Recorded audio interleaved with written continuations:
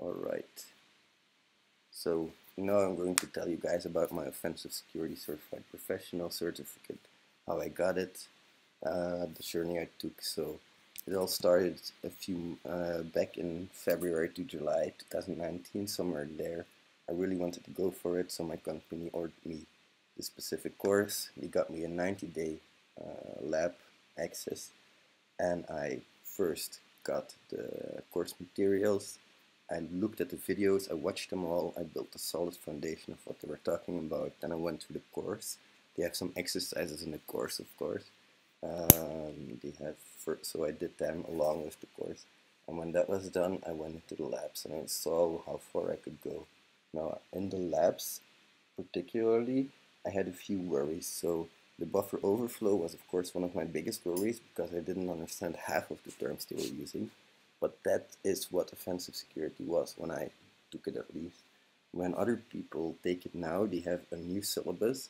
But when I took it, the syllabus was really, the syllabus was good, but the content was meager. They were expecting you to go to Google and find a lot of this stuff yourself.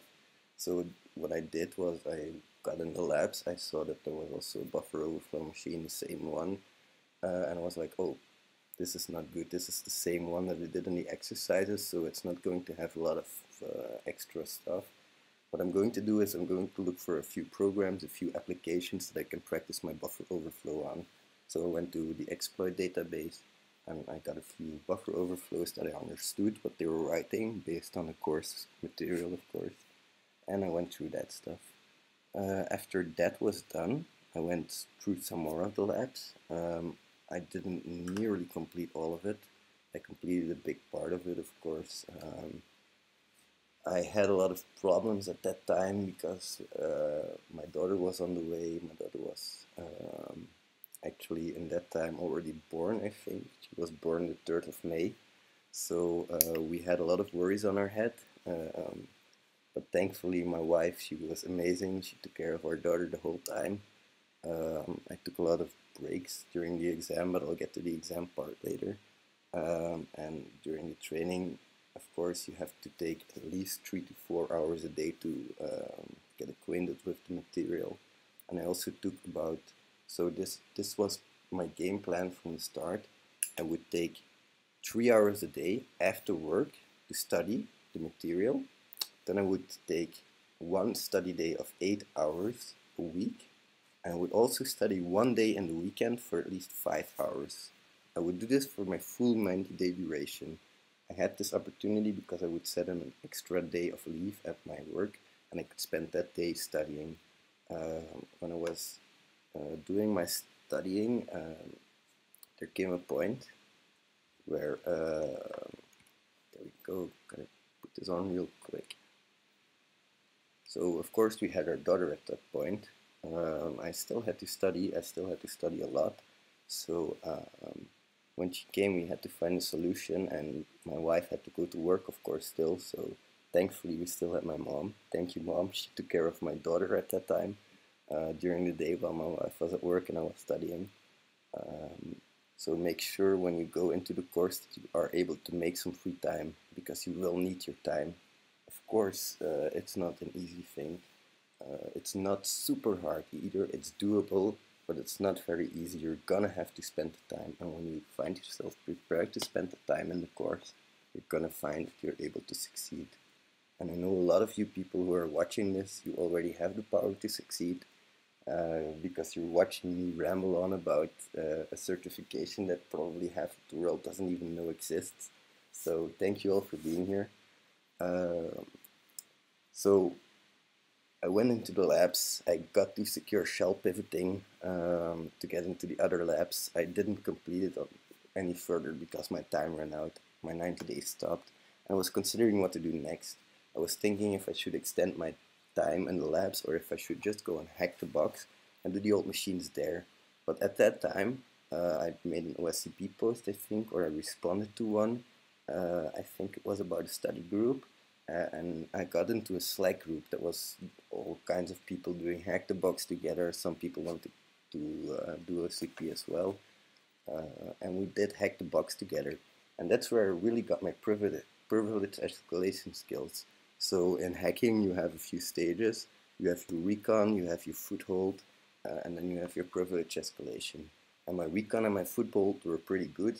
I mastered those techniques by the end of my labs, but privilege escalation was still a problem. I still struggle doing that, by the way, on a Windows machine. So if you guys struggle doing privilege escalation, don't worry. Everybody does. Everybody I know still does. Um, but these guys, they took me along and we motivated each other. And that was the beautiful part about this hacking group. After a while, we got to know each other. We started to laugh. We started to hack like never before, and we got through boxes like like crazy of boxes in one day, two days, like nothing we've ever done before. And that's where I really gained the skills that I needed to pass the exam, in my opinion.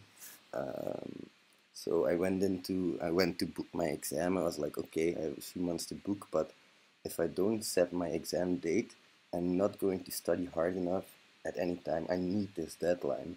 So I set my date for a few months later, for a few weeks later, excuse me, and I just went to work. I went to work like never before, and I started going over my notes again. One of the one of the tips I really can give you guys is take notes, take really good notes, because what OSCP expects you to do, in my opinion. Hey, nice to see you, Cybertuna. Yeah, we we had some really late night sessions.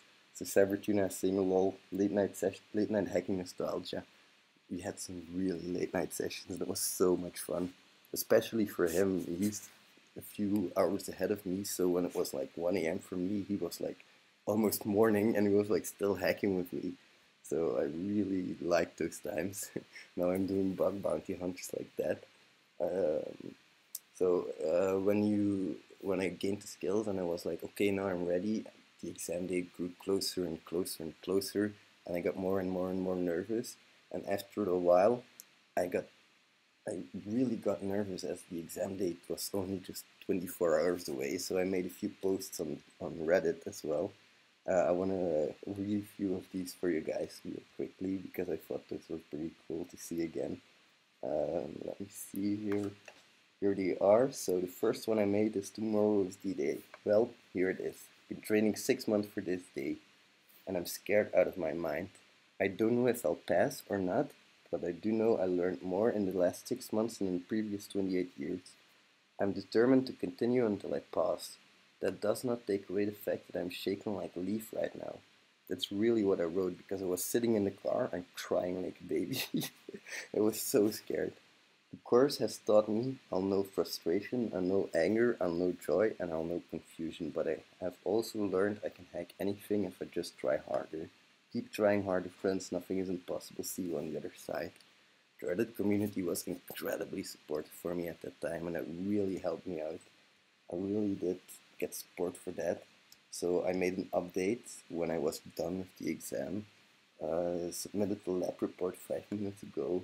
This was my original post, blah blah blah. Rooted 4 out of 5 boxes, got all users. Now repray that my report is up to par and the last post result I passed. So of course I passed. The exam was horrible. I literally started I started at 8 a.m. because I knew I had to bring away my wife and then I had peaceful time till the evening. I could hack as much as I want, take breaks when I want. I had dedicated a full room. I prepared my food a day in advance. Nothing was ever going to bother me. I was sure of it. I had everything I needed and I started my exam. So I had, as you know, like the OSCP exam is divided into a few boxes.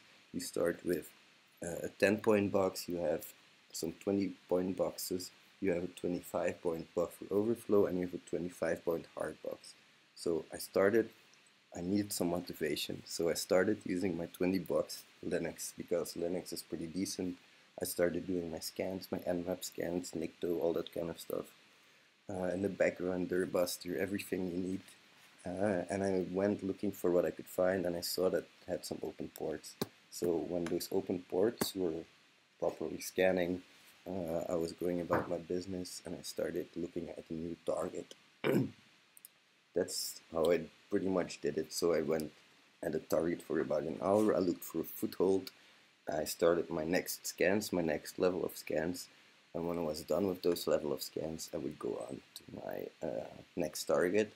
So I would spend about one to two hours at each step, and then I would take some rest, some uh, because I knew that after the foothold, after every step, I would get stuck. That's pretty much how I hack. I take a step, I get stuck, I get frustrated, and I have to take a step back, and then I can brute force my way forward. So I did that on the exam as well. Um, I took a break every two hours max, uh, went to get a coffee, have a smoking break, um, and then went back into it. So after about maybe 10, 12 hours, um, ah, thank you. Uh, Cybertuna has posted a link to the Slack. Feel free to join. Anybody's welcome. The more the merrier. So after about 10 to 12 hours, I was like, okay, now's the time. I, I am stuck on everything. I need some motivation. I'm going to do my buffer overflow. Everybody told me buffer overflow was easy, and it really was, guys.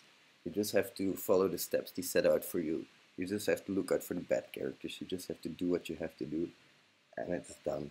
It took me maybe an hour, maybe an hour and 30 minutes, and I had to root it the full box. Uh, so I went on to my next target. The only thing I really struggled with, so I had rooted about everything except the 25 point box. I got to hour 20, I didn't sleep yet, I hacked through the whole night. And when it was morning, finally, I was like, okay, I have pretty much everything except root on my highest point box. So, fuck it, I'm just going to sleep. I'll write my report in the morning and we'll see what happens. So I closed down my session. I said goodbye to the proctor. The whole time somebody was watching me to the webcam, by the way. That was creepy as hell. One time I picked my nose because I forgot somebody was watching me through webcam and I was like, oh crap, somebody's watching me through the webcam. Oh crap. But it was okay. They didn't even mention it. They were highly professional. You didn't even know they were there. That's why I did it. you really didn't even notice your proctor was there. So when I got up in the morning, I started writing my report. And I noticed something. I noticed I had screenshots of all the flags but I forgot to copy paste all of the flags. So I was writing my steps and I went to the header, so insert your flag here. And I went, oh crap, I don't have this thing copy pasted. And I also have a bit of dyslexia, so it's hard for me to type over something that I'm seeing on the screen, especially in a screenshot and especially when it's terminal text because it's black and white or whatever it is on your terminal. It's really hard to see, especially just those two colors. So um, what I did was I typed them over and over, and I just called in my girlfriend and I was like, "Can you please check these for me? I really don't know if these are correct." And she was like, "Yeah, this is correct. This is correct." I didn't show her anything else. Just like, "Can you please read this over for me? I'm not sure if this is correct. I have dyslexia." She was like, "Yeah, no problem." So I submitted my report. It was Sunday evening, I believe. Um, really nervous. Monday I got a reply. It was like, okay, thank you for your uh, thank you for your submission. It took me another ten hours to write your complete report, by the way, because I have complete dyslexia and it's really hard for me to get all the letters right, and it was full of spelling mistakes and that kind of stuff. Thank God for spell check these days. Uh, so I sent in the report. I got my mail back, and it was like, okay, we will look into it. And on Wednesday, it was there. You passed. And was like, happier than anything I've ever been before. So a few months later, I got my report in my uh, in my mailbox. Um, on that day itself, I went to the Slack group that Cybertuna was talking about in the chat. I had some amazing laughs with the guys. I had some celebrations. That's the fun part. When I actually succeeded OSCP, I was able to celebrate it with some of my peers. These guys are amazing. There's a link in the chat. Go join if you want, guys. It's really good. Uh, it's a really good Slack group. Uh, I'm the administrator, and so is Cybertuna, and we also have uh, BioVolk, and he's currently working on something in cybersecurity. Uh, so that's pretty much my uh, story about how I got my certificate. Uh, I'm going to